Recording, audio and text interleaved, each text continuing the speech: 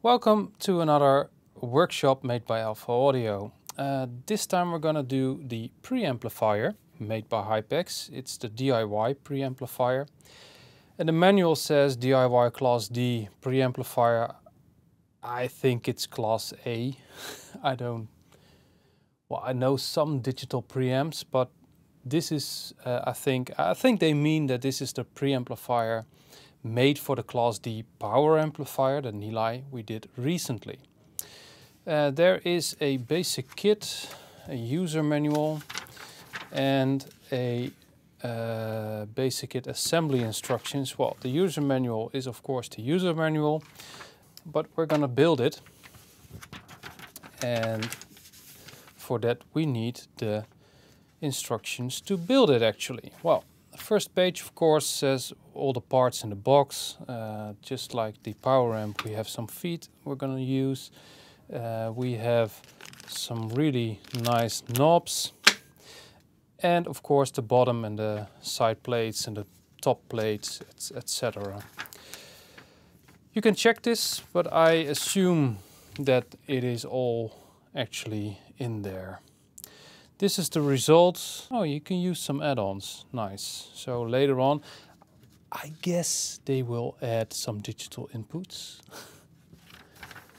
but that's just an assumption. The first step is on page 7. And just like with the power amp, we need to assemble the side panels to the bottom plate first. This is the bottom plate. Yep and these are the side plates and we need some Torx. I think that, yeah, these are for the case. See, these are for the front. Maybe they did actually um, cluster all the parts for a certain step, but they didn't mark the bags. So it would be clever uh, if they actually number the bags and they say you need number one uh, in order to assemble this and then it's a lot easier to assemble the kit. Um, yeah, these are not really easy, but we'll manage. Yeah, right through the feet and then into the bottom plate.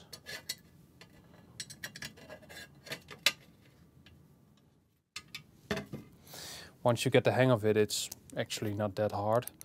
But we also already assembled the, um, the power amp, so we're veterans. But like, if you remember the power amp, don't over tighten these. Uh, and in the later step, you need to loosen them in order to slide in the top plate. It just won't fit if you already tighten it too, uh, too hard. So we did this part and now we can go to oh they already want us to put on the front pieces. Well these are of course silver and these are too large and these are I think correct no. These no four of them. This is the grounding ring. Okay we need to turn it around See, this is the grounding ring. And in here you can see this part, it's dark. We need to use that in order to orientate it. We need this little piece for the grounding in a later step, I think. Do we need the dark screws or do we need the silver screws? I think we need the dark screws for this, yeah. Uh, and we need to put the ring at the back.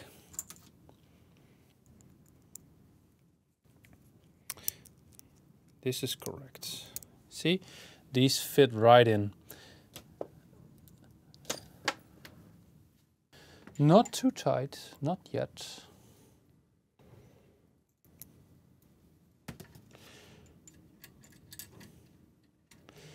The ring at the back and there we go. Yeah. And now we can tighten it.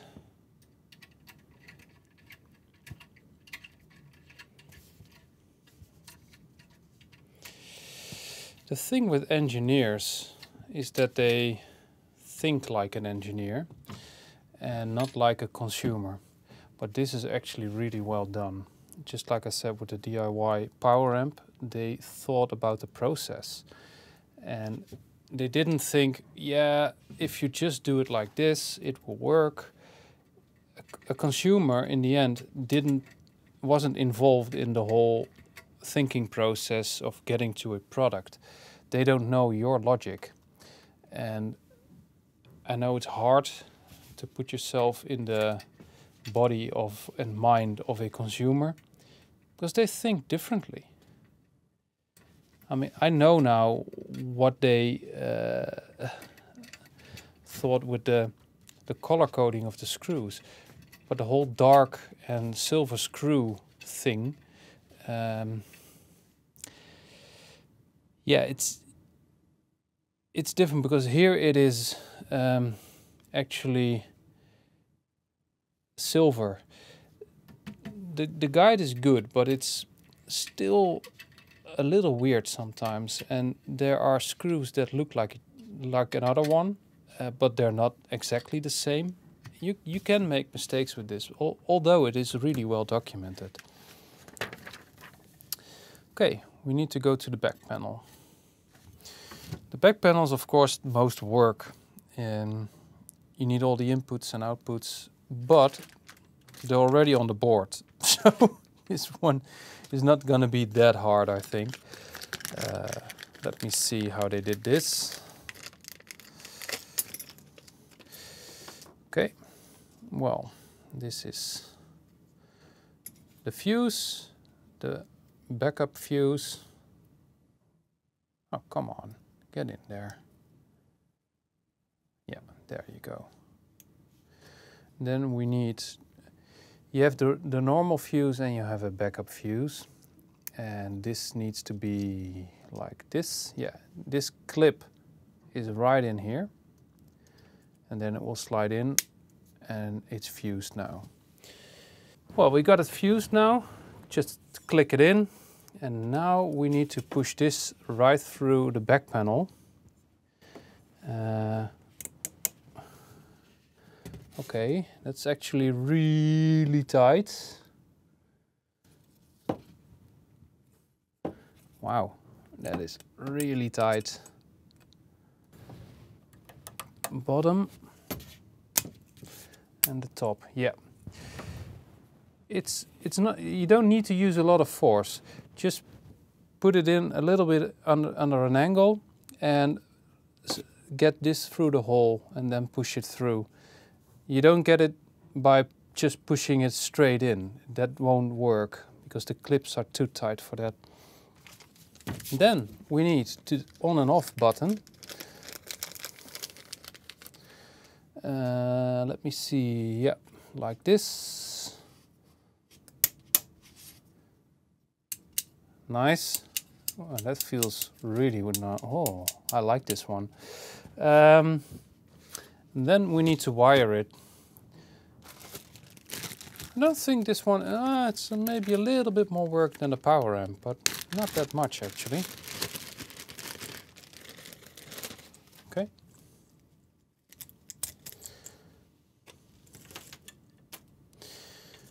Okay, these are, I think, for the power supplies. No, that's that signal.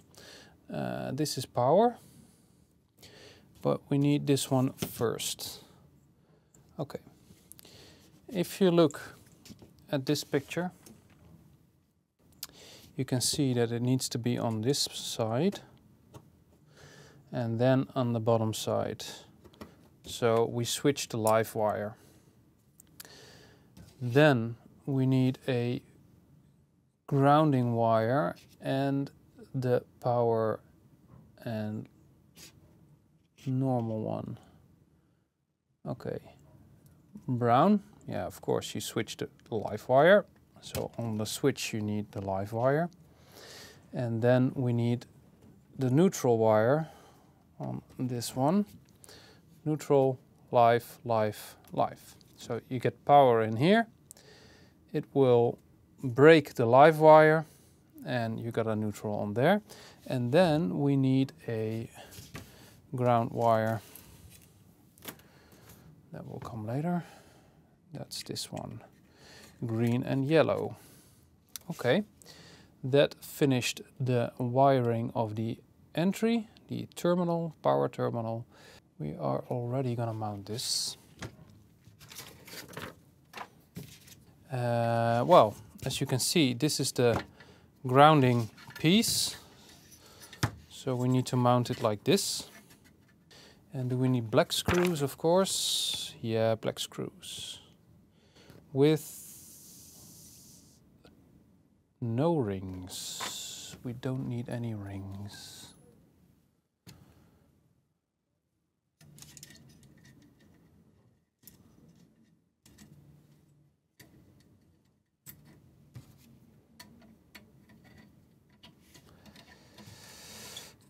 I'm Not sure if I picked the right screws for the front now.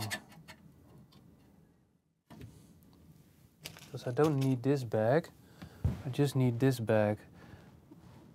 Are these then for the front? That would be weird because they don't actually fit that well. Yeah, I think so.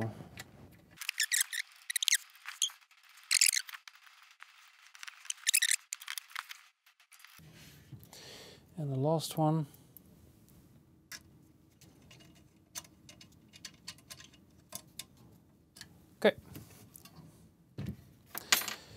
That's the back side. It's on. We need to mount the back plate now, the blind plate.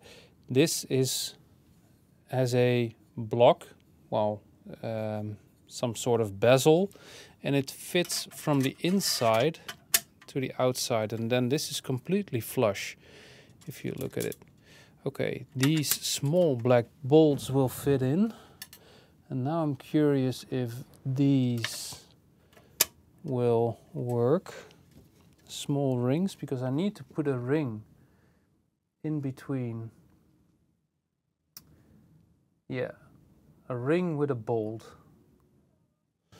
Okay.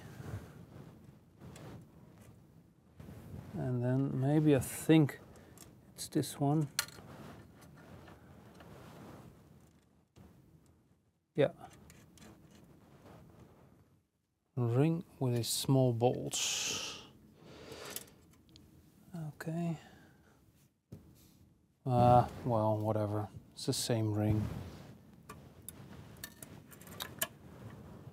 Just keep your finger on it and tighten it a little bit. It, it, it's not supposed to be really tight. I mean, it's, it's firmly in there. Then we need to put in the power supply.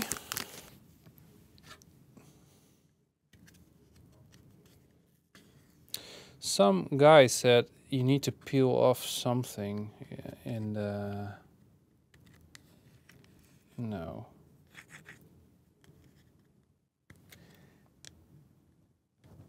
doesn't say anything about peeling off some stuff like in the guide. Nope, nothing. There's nothing on there.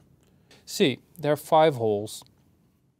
One is there. One, two, three, four, five. So we need to put it on like this.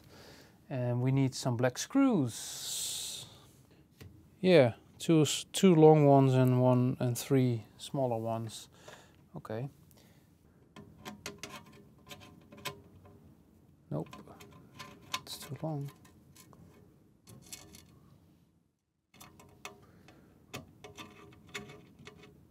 Nope, the longer ones actually don't work at all. Did I miss something?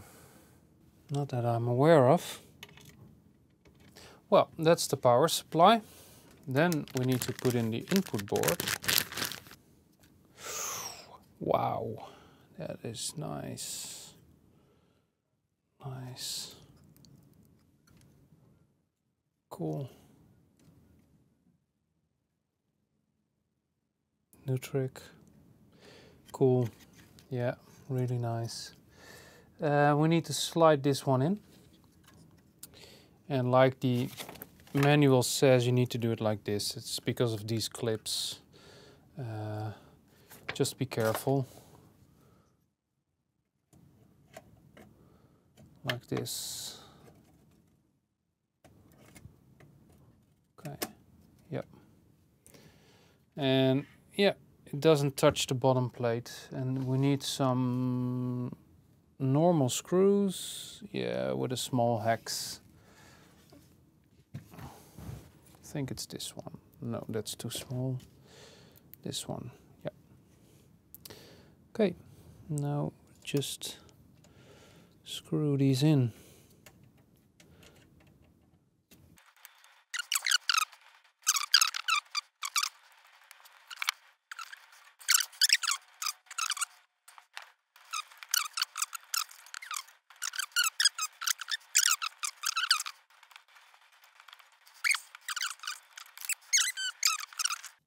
Okay, that's the back plate. Wow, it's really nicely firmly in place. That's cool. Um, I need to, okay, needs to put some buses under there, spacers. One, two, three. I'll need these long ones, okay. See put it under there like this. Put it under there. Like this. And under there. Like that. See there's a input. Some contacts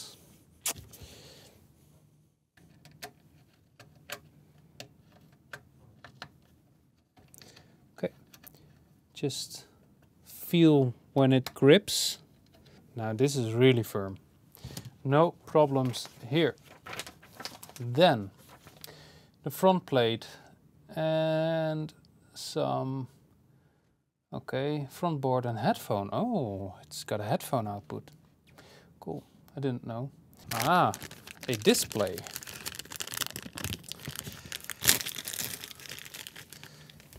Damn, if this sounds right, it's gonna be one hell of a deal. I mean, this is absolutely stunning. Cool. Ah, see? Okay, let's uh, follow the, the guide. So, headphone output. Like this. Yeah, like that. Okay, this needed a small push, a small um, encouragement to go in there with the ring already in. Okay.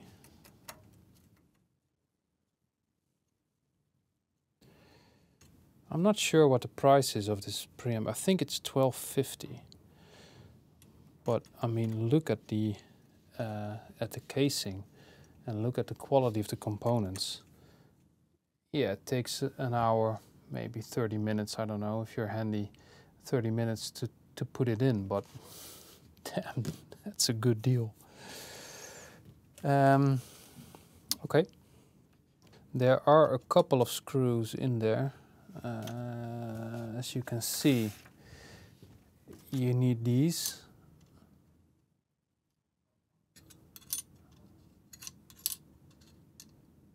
and a small one right here.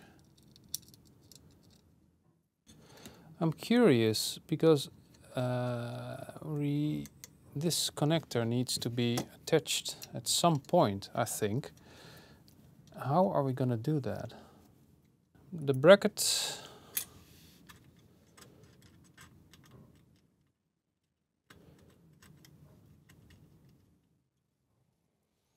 let put this fellow in here, right here. And then this one right here. Okay. They want us to attach the power supply and the grounding. So we build this. Cool. And now they want us to do the power supply.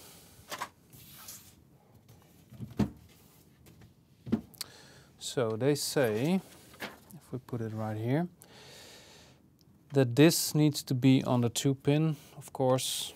It's right here. So 230 goes in here. And they want us to put the grounding right there. And that's this little fella. So you can feel your way through, right there. Then put this on top for the grounding, the ring and the bolts. And you can hand tighten it already. So now it grips and then you can, uh, it's the big hex one. There you are. This one. Okay, and it grips itself, so tighten it firmly, this one, because you don't want to get it loose, because it's for your own safety. Okay. Yeah. You can clip it already, but not tighten it already.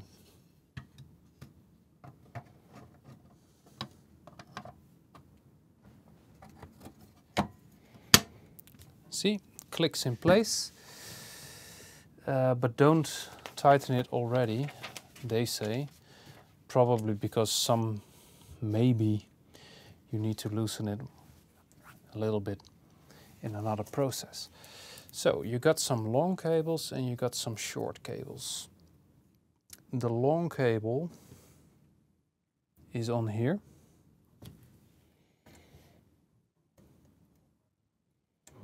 And just like with the other ones, you don't need any force.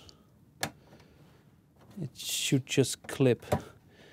But just push it a little bit so that you know it's firmly in there.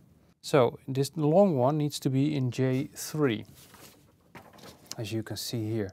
The blue one goes to the front and it's a little bit smaller.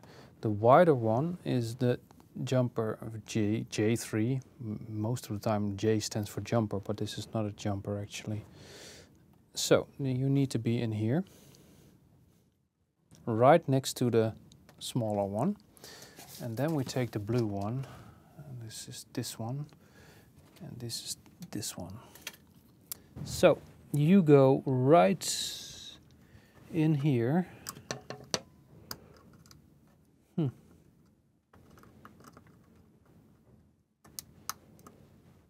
okay. Like this. Yep. Right in here and then you go right in here. Right on top. There you go. Okay come on. You can do it. There you go. Yeah it's in there. Then the yellow one will go from uh, here. That's the headphone amp. Right from here.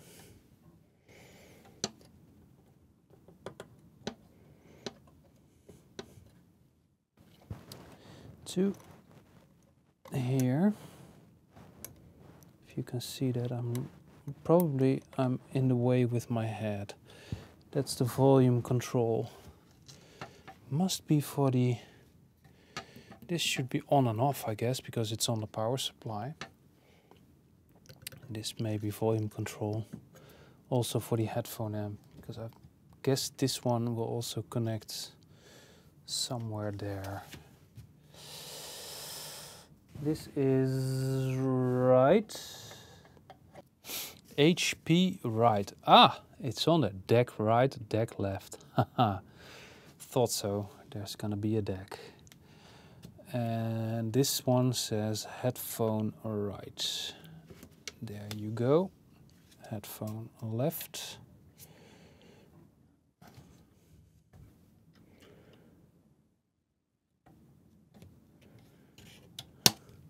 Headphone left. There you go. I'll put this right here to prevent some signal crosstalking. Oh, you can even, yeah, uh, they did the same, see? Yeah, you want to prevent power from crossing your signals. So that's that's a good idea. Uh, there are, yeah, they got some stuff to tie wrap it. We'll do that. Good point, Hypex. That's a good point. And we even got some pliers. There you go. Don't over tighten the tie wraps, by the way. You will definitely kill your wire if you do that. Now we can close it up. Why do I need to get this off? Because now it says, yeah, you're done. Uh, you can get this off, but why would I take it off? Ah, to get the lid on. Ah, that's a good point actually. so, we did this. Now we only need to get the lid on. And that's right here.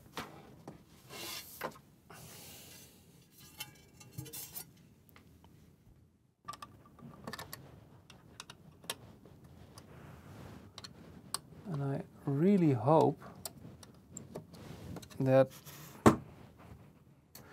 this is enough to slide it in. There you go. We just helped it a little bit. Okay, there we go. Nice. This is on. Uh, now we can tighten the back again. So just like with the power amp, I needed to loosen the back a little bit to get the lid on. Otherwise it's just too tight. That's enough. And now we need to tighten the bottom. Hmm. Still got some screws left. I think it's for the additional boards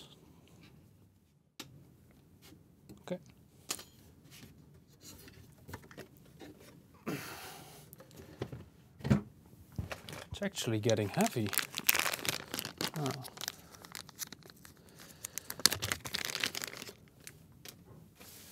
Okay, let's see. And you need to, I don't know if you can see it. Uh, this is squared and this is squared. So you need to put the, the screw in like this in order to put it on the squared piece well, the flattened piece. It's a better word. The flattened piece. The screw is in.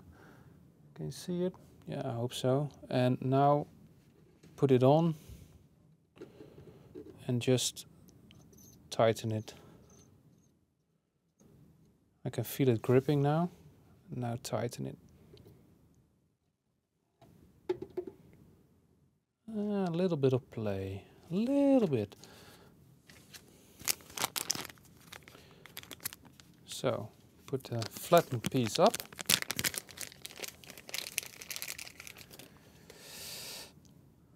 Put the screw in. Put it on. Yeah. And tighten it.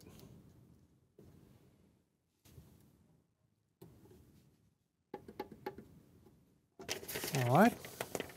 Well, that's it actually.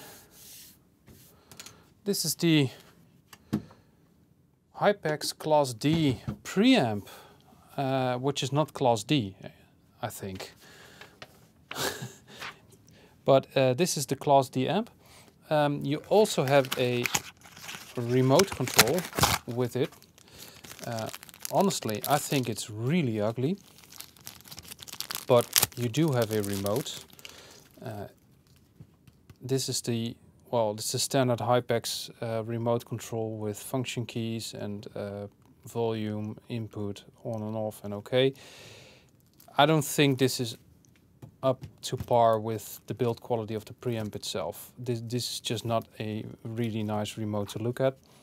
But you get it. Anyway, it is remote controlled. It has a headphone output, another headphone output. This is balanced, this is single-ended. Very nice turning knobs. Just a tiny bit of play, but for a DIY preamp, it looks amazing. Thank you for watching and see you next time.